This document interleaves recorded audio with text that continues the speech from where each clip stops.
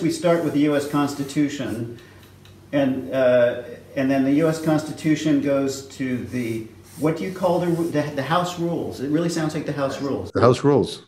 So the 117th Congress Right, that's says the rule book, Right. like no, no drinking until after the sun's over the yard arm. Although I'm trying to change that. Uh, uh, I think we'd all be better if we drank. Let me just grab a pen, a good pen.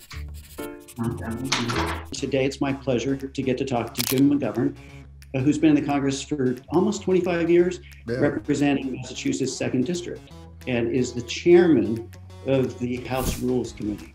He's going to try something different with us. We're calling it drawn out.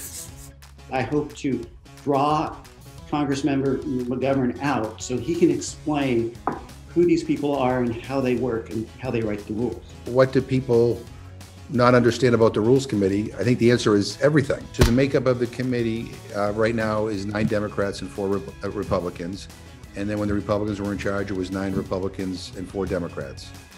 And I've been there and done that because I've been in the minority. I'd rather be the majority. The Rules Committee essentially is the traffic cop of Congress.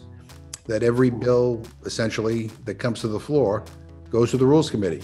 And we decide whether or not you get to offer an amendment or whether there'll be no amendments and whether you have to vote up or down.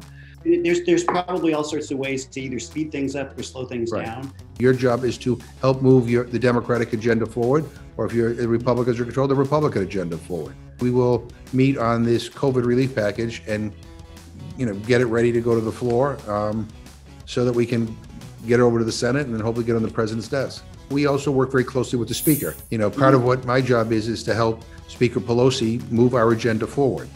Um, and, hold on, hold on, hold on, we go. Hey, can I call you back? All right, Hey, Elizabeth Warren just, he texted me about this. She's in favor. So, all right, thank you. Bye-bye. Um, so, um, the, um,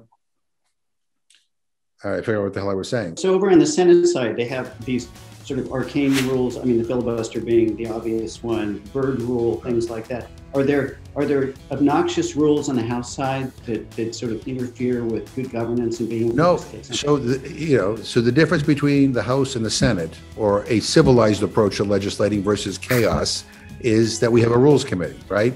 So, I mean, um, if we didn't have a rules committee, then we'd be the United States Senate. Um, you could filibuster everything. So the rules change with each bill. Each bill comes to, to your committee, and you all decide. There's a level above that that are the House rules, right? We write the House rules, the rules that will govern uh, the Congress for whatever with the session. I've written a, what we call the McGovern rule, which says that uh, bills that come before the Rules Committee need to have hearings in the committees of jurisdiction, and they need to be marked up. Uh, because the Republicans get very comfortable with just sending bills out of nowhere to the right to the Rules Committee. The way the plumbing really works when you get down in the Capitol is fascinating. It's a great committee to be on because you get to have your fingerprints on everything, right? You know that you're on the Resources Committee, so you know you you know you only deal with environmental issues or Ways and Means you just deal with tax issues. We deal with them all, right? Now, is there any rule in the House rules um, about uh, limiting the uh, chairmanship of the House Rules Committee? I serve at the discretion of the speaker, but I mean, you know, if Pelosi thought I was doing a shitty job, she could just say, you know, goodbye.